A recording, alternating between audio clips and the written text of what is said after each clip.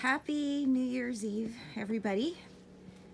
Um, this is, uh, it's been quite a year for everybody. 2021 kind of kicked everybody's ass, including ours here.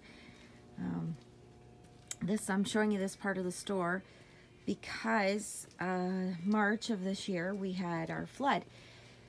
Um, this part of the store got hit the hardest. We had it as storage at the time and we lost a lot of our stuff.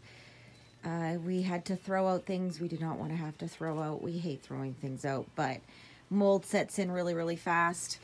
Um, I'm going to be posting some videos later of what uh, what it looked like then, um, so you can kind of see what uh, what we went through and what we've what we've done since then.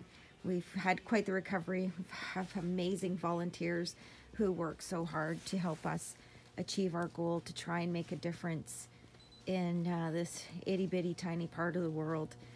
Um, you know, why why is it so hard to make a positive difference and it's so easy to make a negative one? You know, we're just trying so hard. And like I said, we're just one tiny, tiny little piece of the world.